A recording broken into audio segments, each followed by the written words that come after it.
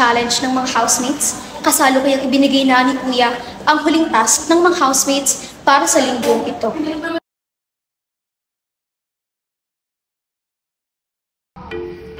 Kamusta housemates? Okay lang po, kuya. Dahil Pia, ikaw ang nanalo sa nakaraang challenge, ikaw ang magiging leader sa task na ito. Okay po, kuya. Pia, ang inyong task ay nasa envelope. Sa linggong ito, kayo ay inatasan kong talakayan ang anatomy ng lymphatic system sa pamamagitan ng video. Hello Philippines and hello world! Matapos ang weekly challenge ng mga housemates, kasalo ko yung ibinigay na ni Kuya ang huling task ng mga housemates para sa linggong ito. Kamustahin muna natin ang mga housemates sa loob ng bahay. Kamusta housemates? Ready na ba kayo sa inyong weekly task? That's the spirit, housemates! Ngunit bago ang lahat, atin munang alamin ano nga ba ang lymphatic system. Lymph means water and it describes the fluid that flows through the lymphatic vessels and lymph nodes, which make up the lymphatic system.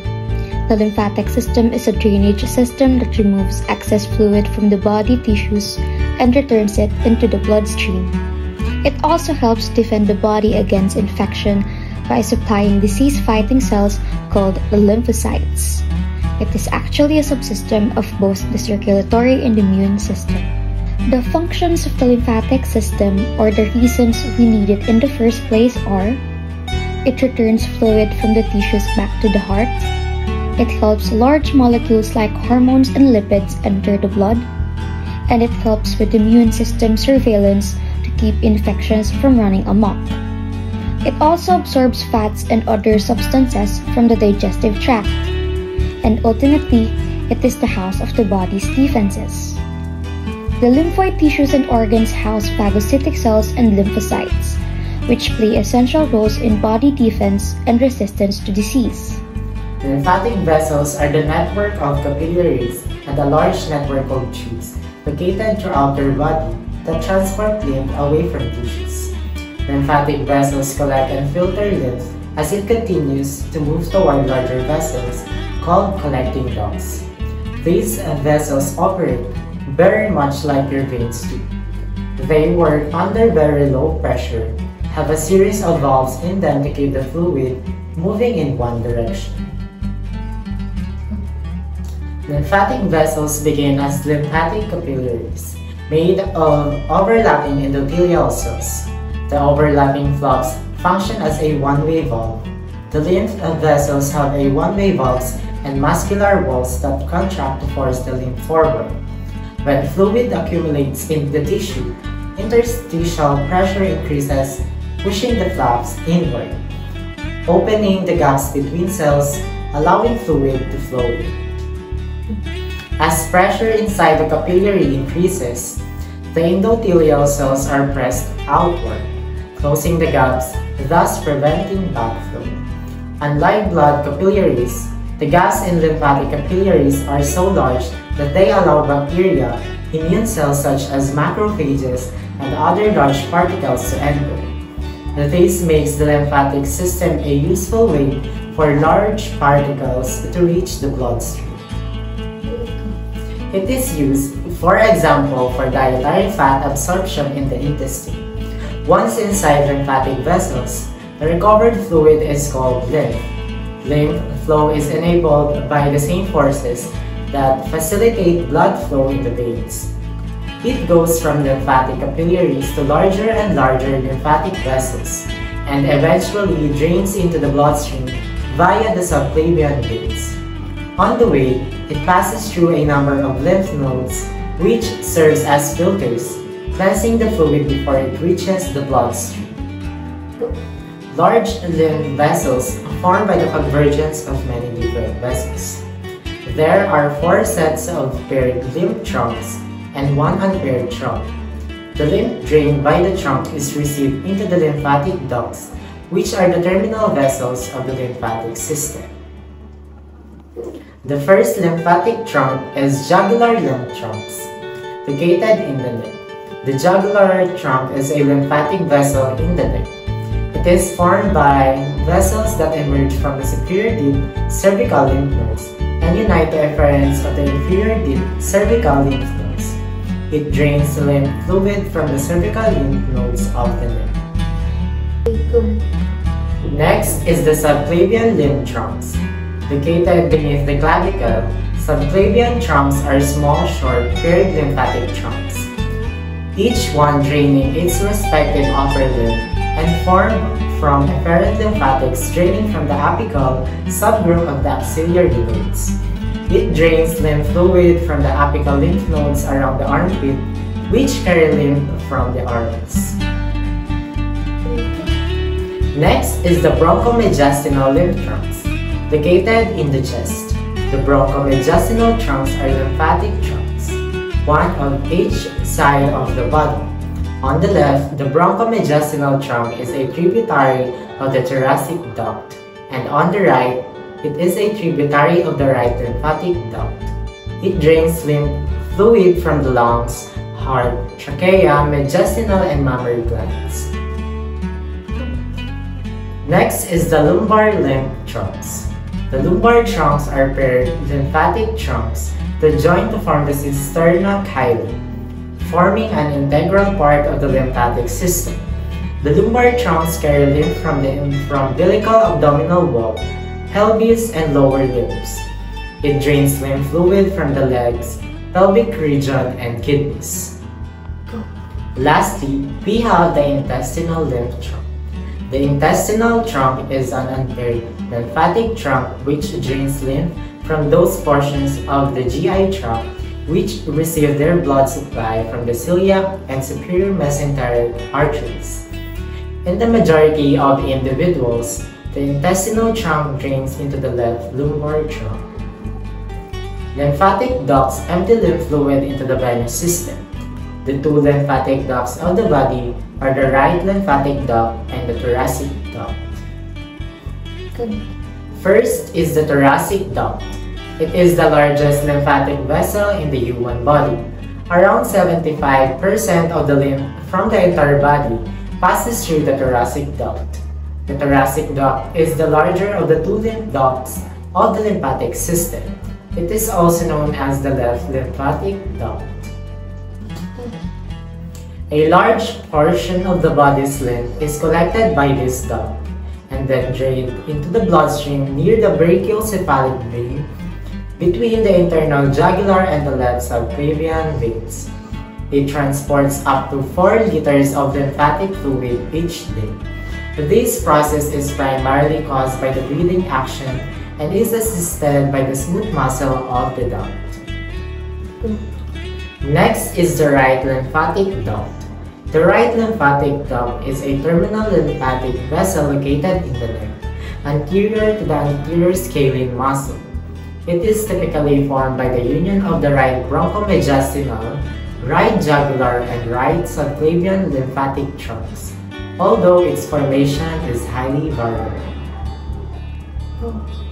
The right lymphatic duct is an important lymphatic vessel. It is because it drains the right upper quadrant of the body. The right lymphatic duct drains the right thorax, upper limb, head, and the tissues and organs that produce, store, and carry white blood cells that fights infections and other diseases are called the lymphatic organs. It includes the bone marrow, spleen, thymus, lymph nodes, tonsils, and Peyer's patches. There are also two classifications of lymphatic organs, the primary and the secondary. Primary lymphatic organs, or also known as the central lymphatic organs, are the production site of the lymphocytes. It provides an environment for stem cells to divide and mature into B and T cells. They are both produced in bone marrow. B cells mature in bone marrow, while T cells mature in the thymus. Bone marrow is a soft, gelatinous tissue that fills the medullary or the centers of bones. There are two types of bone marrow. One is red bone marrow, which is known as myeloid tissue, and yellow bone marrow that is known as fatty tissue. Both types of bone marrow are enriched with blood vessels and capillaries. Bone marrow makes more than 220 billion new blood cells every day. Most blood cells in the body develop from cells in the bone marrow. The blood-forming stem cells in red bone marrow can multiply and mature into three significant types of blood cells, each with its own job. Red blood cells or erythrocytes, these blood cells transport oxygen around the body. White blood cells or leukocytes. This helps in fighting infection and disease.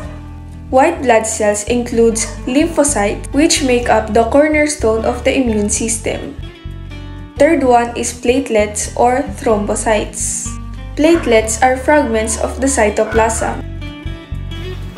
Thymus is a soft, roughly triangular organ located in the mediastinum of the thoracic cavity, anterior and superior to the heart and posterior to the sternum. Thymosin, a hormone secreted by the gland, stimulates the development of T cells. Lymphocytes produced by the bone marrow are immature T cells. The gland receives their lymphocytes and develops it to become a functional T cells after which it migrates to the lymph nodes to become part of the immune system. The thymus is mainly made up of epithelial cells, immature and mature lymphocytes, and fat tissues that changes in size as you get older. It is large in newborns and toddlers, thus biggest during puberty, then slowly begins to shrink as adulthood approaches. The two thymic lobes are surrounded by a thin connective tissue or the capsule. Each lobe is divided into lobules by a fibrous extensions of capsule called trabeculae or septa that gives the thymus its bumpy appearance. Each lobule has an outer cortex that processes the proliferation and selections of immature T cells, and an inner medulla that consists mature T cells where the network of reticular endothelial cells are denser and fewer lymphoid cells. Medulla also contains of thymic corpuscles technically called Hassall's corpuscles, which are oval structures consisting of round whorls of latent epithelial cells. They are believed to be aged and de degenerated cells. The function of thymus as primary lymphoid organ are to produce sufficient numbers of T cells expressing unique T cells receptors and to select T cells for survival in such a way that the chance for an autoimmune response is minimized. Secondary organs are lymphoid tissues arranged as a series of filters monitoring the contents of extracellular fluids, specifically the lymph tissue and blood. Lymphatic organs also functions to support maturation, survival, and activation of lymphocytes. Lymph nodes are the oval bodies situated in the pathways of the lymphatic vessels. In our body, there are about 500 to 600 lymph nodes, and it is most abundant at the cervical, axillary, and inguinal regions as well as the thoracic and abdominal cavities. Now, let us know the functions of the lymph nodes. First, it traps foreign material that comes through the lymph because in case the immunocytes detect a foreign particle in the lymph, they will start the immune response to prevent the harming particle from disseminating throughout the body. Second, it is responsible for the production of lymphocytes and a pool of lymphocytes and a pool of stem cells to become antibody producing B lymphocytes and mature T lymphocytes. Lastly, it filters interstitial fluid collected from soft tissues and eventually returns it to the vascular system and this happens because of the many immune cells found within them. The structure of the lymph node is composed of capsule, subscapular sinus, cortex, medulla, afferent lymphatic vessels, efferent lymphatic vessel, and hilum. Now let us go on to capsule. The capsule sends trabeculae inside the lymph node, which pass inward, radiating towards the center. And the subscapular sinus is the space between the capsule and the cortex, which allows the transportation of the lymphatic fluid that is also called the lymphat, the lymph sinus, or the mar marginal sinus. It receives the afferent vessels, continues with the trabecular sinuses, and joins the medullary sinus in the medulla, medulla of the lymph node. The cortex of the lymph node is a layer beneath the subscapular sinus. The cortex is formed of the outer cortex and the inner part known as the paracortex. The outer cortex layer is also named the B cell layer and it is rich in CXCR5 chemokines and consists mainly of B cells arranged into follicles. The medulla is the innermost layer of the lymph node and contains large blood vessels sinuses, and medullary cords. The medullary cords contain antibodies secreting plasma cells, B cells, and macrophages. The medullary sinuses or sinusoids are vessel-like spaces that separate the medullary cords. The medullary sinus drains the lymph into the efferent lymphatic vessels. And the afferent lymphatic vessel, this mediates the transport of antigen and leukocytes to draining lymph nodes, thereby serving as immunologic communication highways between peripheral tissues and LNS. The afferent lymphatic vessels flow into a lymph node and carry unfiltered lymph fluid. The efferent lymphatic vessels are flowing out of a lymph node and carrying filtered lymph fluid. And the lymph vessels that leave the thymus or spleen, which lack afferent vessels, also fall into this category. And the hilum is a linear, echogenic, non-shadowing structure that contains the nodal vessels and it appears continuous with the fat around the node. Moreover, lymph nodes are kidney-shaped and receive lymph via multiple afferent vessels and filtered lymph then leaves via one or two efferent vessels. They usually range in size from 1 to 2 cm and are enclosed in an adipose tissue capsule. The lymph nodes house lymphocytes and other immune cells. Hello, I'm Phia and I'm going to be discussing about the spleen. We can see it here better in this image with its surrounding structure. The spleen is, in fact, the only immune organ that is directly integrated into the bloodstream. It's similar in structure to a large lymph node and acts as a filter for the blood. On the left side, we are looking at the diaphragmatic surface of the spleen. Here, we see then on the right side is the visceral surface of the spleen. What is spleen and what does it do? The spleen is the largest immunological organ of your body, measures about 12 centimeter in length and weighing approximately 150 grams. However, this weight may vary depending on individual. The spleen is a highly vascularized organ and is purple in shape. It lies intraperitoneally in the left hypochondriac region between the 9th and 12th rib just inferior to the diaphragm. This is surrounded by a layer of a fibroelastic tissue and its main function are associated with immune responses in our body synthesis of antibodies, filtration of blood, and lymphopoiesis and the phagocytosis. The anatomy of the spleen. The spleen has two borders, superior and inferior, two extremities, posterior and anterior extremities, two surfaces, the visceral one and the diaphragmatic surfaces. So now let's talk about the superior border which you can see here highlighted green, also known as the upper margin of the spleen, forms the border between the gastric and the diaphragmatic surface. On this margin, on the other hand, you can see highlighted green is the inferior margin of the spleen. It is also known as the lower margin. It is the border between the diaphragmatic and the visceral surface. Now let's take a look on the two extremities of the spleen. The anterior extremity of the spleen is basically the most anterior part of this organ, as we can see here highlighted green. The extremity, the posterior extremity of the spleen, the portion highlighted green is the posterior most end of this organ, which is of course known as the posterior extremity. Now, let's see the surfaces of the spleen. Beside it, this is a cross-section of the spleen done at the hilum of the spleen which is found in this image.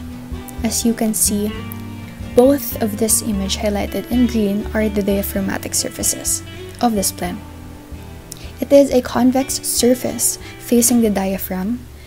This smooth surface is directly, directed upwards and is in relation with the undersurface of the diaphragm the gastric surface of the spleen, which is found on the visceral surface of the spleen. It can be divided into three subsurfaces. One of this is in this picture the gastric surface of the spleen. As the name indicates, this is a portion of the spleen that is direct contact with the posterior wall of the stomach. This bored concave surface, which is directed upwards, slightly forward, and towards the middle. And it is one of the three concave visceral surfaces of the spleen. The next visceral surface is the colic surface of the spleen, seen here highlighted green. This surface is in contact with colon. The spleen sits upon the left colic flexure or the splenic flexure, which is the curvature between the transverse colon and the descending colon. The third visceral surface is the renal surface of the spleen, which is seen in this image, highlighted green. This is the lower surface of the spleen that is related to the upper part of the anterior surface of the left kidney. So now we have looked at the borders, extremities, and the surfaces of the spleen. Now let's see how this organ is suspended in the retroperitoneal space. The spleen is surrounded by the peritoneum and the holding of the peritoneum from the two important ligaments, one of this being the gastrosplenic ligament seen here, highlighted in green. The gastrosplenic ligament stretches between the greater curvature of the stomach to the hilum of the spleen, which the area where all the vessels are found. The ligament formed by the folding of the peritoneum is the splenorenal ligament.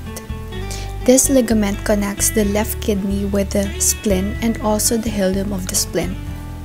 In addition, the peritoneum, the spleen is also covered by the fibroelastic connective known as the fibrosplenic capsule.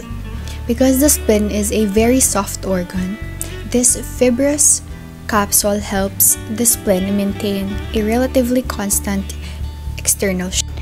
The splenic artery, highlighted in green, this supplies oxygenated blood the spleen and this artery is the third branch of the celiac trunk as well as being the largest. And it reaches the splenic hilum by passing through the splenorenal ligament. The splenic artery is divided into six branches that enters the spleen at the hilum. The next structure is the vein. The splenic vein arises from the hilum and drains venous blood from the segmental splenic veins. It courses behind the splenic body, joining the superior mesenteric vein towards the hepatic portal vein. The next structure is the splenic pulp. The splenic pulp is a mesh of fine reticular connective tissue that is found between the trabeculae of the spleen. There are two types of splenic pulp, the red which gives the spleen its soft, spongy consistency and it is composed of splenic sinus engorged with cells. There are also splenic cords and marginal zone that borders the white pulp. The function of the red pulp is to act as a mechanical filtration of the blood cells clearing and defective as well as aging erythrocytes. The other type of splenic pulp is the white pulp.